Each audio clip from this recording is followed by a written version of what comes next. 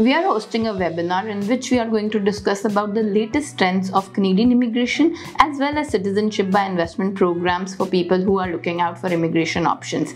We are going to be a panel of experienced lawyers. So be sure and make sure that you join the link in the description box. Thank you.